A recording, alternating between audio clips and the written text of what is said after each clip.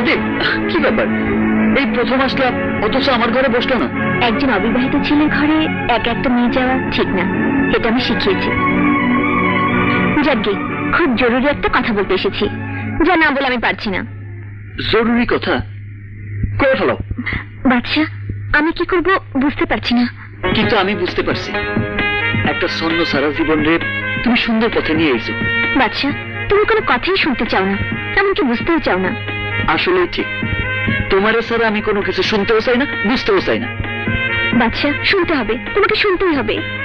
তুমি জানো না আমাদের বংশে কোনো ইতিহাস নেই কেউ কোনোদিন প্রেম করেছে হোক ছেলে কিংবা মেয়ে। তাছাড়া যে কথাটা বলার জন্য বারবার চেষ্টা করেও পারছি না। লক্ষ্মী ছেলের মতো শুনবে? যদি আমার দোষ থাকে তাহলে ক্ষমা করে দিও।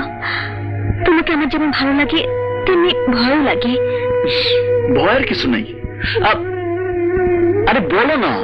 তোমার সাথে পরিচয় হওয়ার আগে আমার বাবা তার বন্ধু ছেলের সাথে আমার বিয়ের কথাবার্তা পাকা করে রেখেছে। কোনো কথা আমি শুনতে চাই না। কোনো বাধাও আমি মানবো না।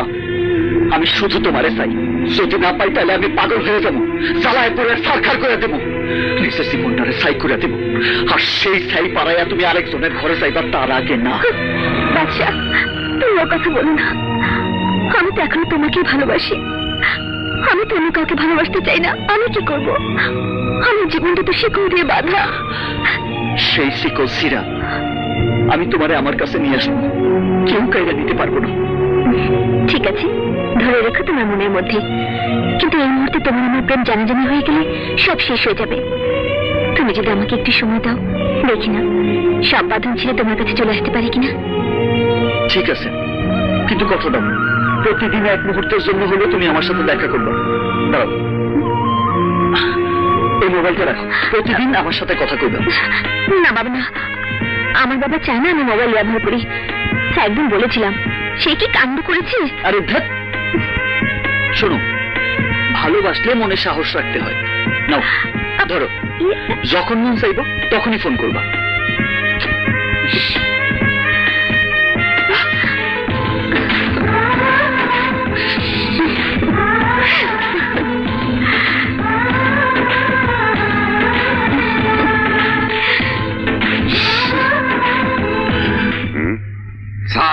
ওর কাছ থেকে বাদশার আসল ঘটনা শুনে নেন। স্যার বাদশা আমাদের ক্লাবে গিয়ে প্রায়ই টাকা পয়সা ছিনিয়ে নেয়। স্যার আমার বৈধ ব্যবসা তারপরে বাসার চাঁদা নেই বললেন তো স্যার যা কইছিলাম সত্য কিনা? বাদশাহ চান্দাবাজ ওর চরিত্র খুবই খারাপ। আসসালামু আলাইকুম স্যার। আমারে ডাকছেন? আমি বাদশাহ। শুনলাম আপনি নতুন আইছেন। তাই দেখা করতে আইলাম। তা না হলে থানা আমি ডাকলেও আসি না। ও তুমি তাহলে বাদশাহ।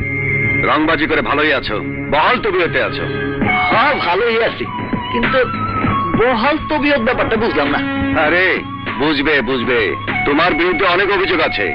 তুমি চাঁদাবাজি করো জোর করে মানুষের টাকা চিনিয়ে নিয়ে যাও। অগ কথা যদি সত্যি হয় তাহলে মামলা করতে কম। হ্যাঁ করবে। এই তোমরা ওর বিরুদ্ধে মামলা করো। কি ব্যাপার? সবাই চুপ কেন? হ্যাঁ? ওর বিরুদ্ধে মামলা করো। মামলা করব না স্যার। আর মামলা ছাড়া আপনি আমারে অ্যারেস্ট করতে পারবেন না। দেশে একটা আইন আছে না? এস এস। সালাম আলাইকুম আঙ্কেল। ওয়ালাইকুম সালাম যাও তোমরা। যাও চল.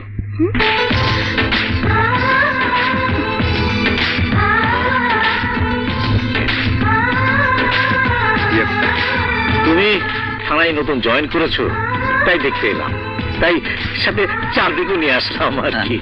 খুব ভালো করেছেন। এই যাও। যা বলছে। জি স্যার। সালাম আলাইকুম। বসেন। না না ওই ছেলেটা এখানে কেন? ও একটা মাস্তান রাস্তার ছেলে। আঙ্কেল বসেন।